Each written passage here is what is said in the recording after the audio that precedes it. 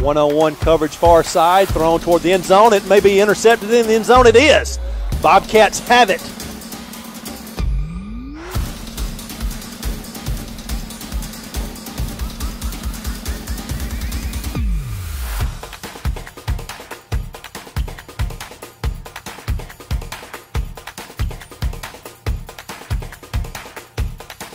This is probably a lot of what your offense is going to look like next year. Quarles gets the handoff, now slips the seam.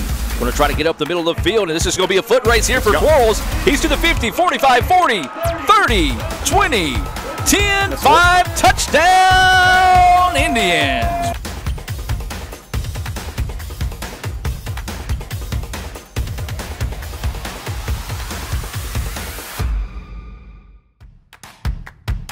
Jalen Wilson's at the quarterback spot. He'll take it in the Wildcat formation. He fakes. He's going to try to get to the pylon, and he will. Touchdown, Pearl River. Does.